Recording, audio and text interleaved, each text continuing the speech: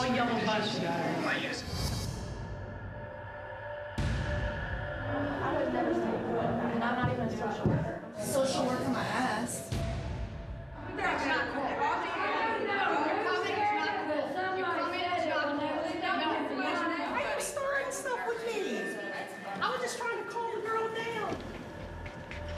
My brother had to take that bus. I get it. Trust me, I'm not against that girl.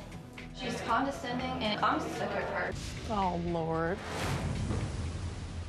So, Maryum, why did you make yeah, the that's not what I was doing. And, and if you guys work with anybody I've ever worked with, all of my friends, it's not my brother had to take that bus, you know. Why are you calling it take that bus? No, li- I mean, come listen. on. We're Look, talking about human you, beings You know here. what, sweetheart? You don't Don't know- call me sweetheart. You don't okay? know my We're life. on a different level here. I misspoke. I agree. I apologize for that. My intention was to stop them from bashing her. By bashing her.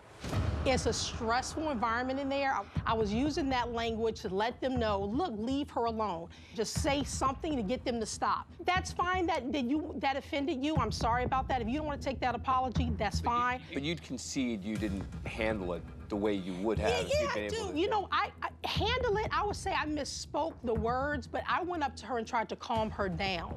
This isn't just about that Yeah. one statement, is it? Well, for me, it's that she came into jail and she's this big talker. I'm How a am I- social worker how am I a with big kids. talker? It's my turn to talk. Thank you. How am I a big I'm talker? I didn't talk that much at all. Yes, she, did she not talk all the time about being a It's social what- worker it's and what how she communicates with people so well. proceeded to say to me and how I should treat her before that. Well, we shouldn't treat her like an animal. No, we She's a shouldn't. human being. We shouldn't.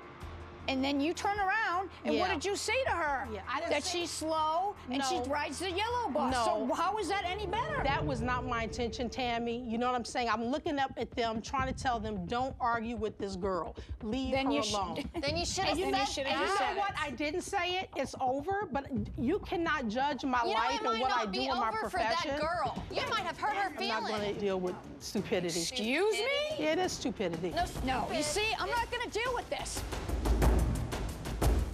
Going to be like a country club.